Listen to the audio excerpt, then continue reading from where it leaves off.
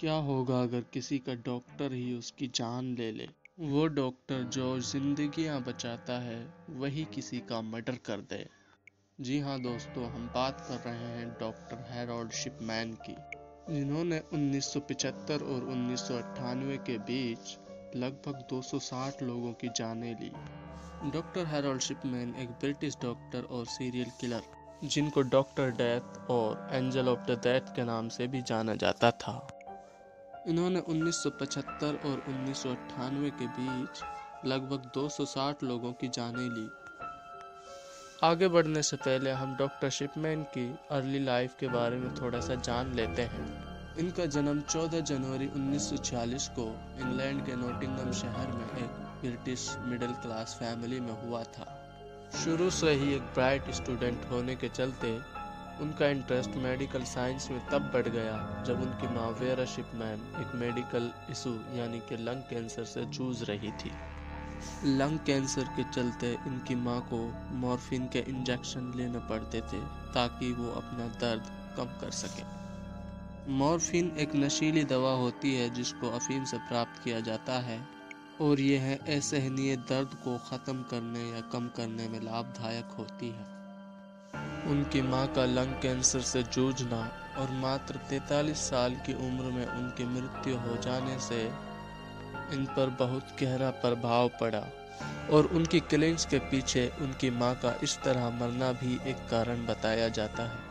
1970 में अपनी पढ़ाई यूनिवर्सिटी ऑफ़ लीड्स से पूरी करने के बाद वो as a doctor and general practitioner काम करने लगे। उन्होंने साधारण रूप से ओल्ड एज महिलाओं की हत्या की। हालाँकि उनके यंगेस्ट विक्टिम, एक इकतालीस साल के पुरुष, जनरली वो पेशेंट्स को डायमोरफिन और इसी प्रकार की दवाओं का हाई डोज देकर उनकी हत्या कर देते थे। वो पेशेंट्स के साथ अच्छे से व्यवहार करते, ताकि वो उनके साथ बिल्कुल कंफर्टेबल हो सके। जनरली पेशेंट्स के साथ इतना अच्छा बर्ताव करते कि पेशेंट्स भी उन्हें एज ए अच्छे डॉक्टर के रूप में देखते और उन्हें लाइक करने लगते। 28 फरवरी उन्नीस में स्टीफन डिक्सन ने अपने पिता के बारे में जो कैंसर से जूझ रहे थे, डॉक्टर हैरोल्ड से पूछा and I caught how long my father is likely to live and he said I would not buy him any Easter eggs जिसका एक हिडन मीनिंग था कि वो जल्द ही मर जाएँगे। और चार दिन बाद शिपमैन ने उनकी हत्या कर दी। इंग्लैंड की संस्कृति में जनरली डेड बॉडीज को दफनाया जाता है। लेकिन डॉक्टर शिपमैन ने अपनी पूरी लाइफ में 215 डेथ सर्टिफिकेट बनाए, जिनमें से सिर्फ़ तीन लोगों के अलावा सभी लोगों की डेड बॉडीज को जलाया गया। इससे साफ़ ज़ाहिर होता है कि वो डेड बॉडीज को इसलिए जलाते थे ताकि वो पीछे कोई सबूत ना छोड़ पाए या फिर पीछे कोई सबूत ना रहे। एंड डेड बॉडीज को जलाने से पहले भी एक सेकेंड डॉक्टर की ज़रूरत पड़ती है, जो cause of the death confirm करता है। और एक तीसरे डॉक्टर की ज़रूरत पड़ती है जो सभी कागजों को, जो सभी पेपर्स को चेक करता है। लेकिन यहाँ पर ना तो कोई सेकेंड डॉक्टर था जो cause of the death confirm कर सके और ना ही कोई थर्ड डॉक्टर जो पेपर्स चेक करता। एक और रिपोर्ट में यह पाया गया कि सन उन्नीस सौ छियानवे में डॉक्टर हेरोल्ड शिपमैन ने लगभग बारह हज़ार मिलीग्राम डायमोरफिन प्रेस्क्राइब किया था सिर्फ़ एक पेशेंट के लिए। जो कि 360 लोगों को मारने के लिए काफ़ी है। हालाँकि इस बात का हॉस्पिटल अथॉरिटीज़ को पता चला तो उन्होंने डायमोरफिन के यूज़ पे एंड डायमोरफिन के प्रिस्क्रिप्शन पे कंट्रोल भी किया। लेकिन उनके द्वारा डेथ्स अभी भी जारी थी। बताया जाता है कि उन्नीस सौ सतानवे में उन्होंने हाईएस्ट सैंतीस लोगों की हत्या की। ये तो थे डॉक्टर हैरोल्ड शिपमैन के कारनामे। अब हम बात करेंगे कि उनको पकड़ा कैसे गया। How was he caught doing these murders उनके खिलाफ इन्वेस्टिगेशन तब शुरू हो गई जब उन्नीस सौ अट्ठानवे में हॉस्पिटल अथॉरिटीज़ ने पाया कि जो भी उनके पेशेंट थे, उनका डेथ रेट्स हाई थे। लेकिन कोई पुख्ता सबूत ना होने के कारण पुलिस को ये इन्वेस्टिगेशन को भी बंद करना पड़ा। महीनों बाद एक टैक्सी ड्राइवर ने पुलिस को इन्फॉर्म किया कि उन्हें लगता है कि डॉक्टर शिपमैन ने लगभग 21 लोगों की जान ली है, है।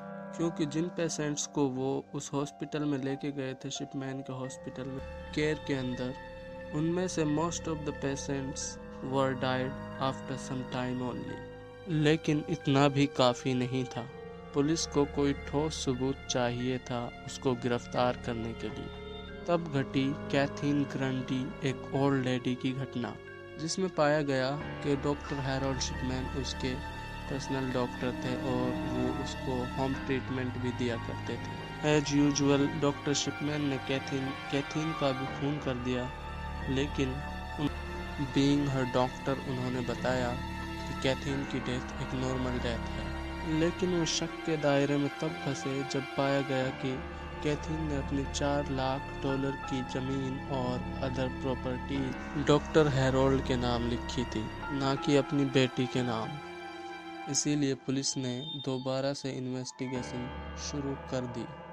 जब कैथिन ग्रंडी का पोस्टमार्टम कराया गया तो उसमें पाया गया कि उसको डायमोरफिन के हाई डोजेस दिए गए थे और इन्हीं की वजह से उनकी मृत्यु हुई थी। लेकिन हैरोल्ड की रिपोर्ट के मुताबिक, कैथिन ग्रंडी एक ड्रग एडिक्ट थी।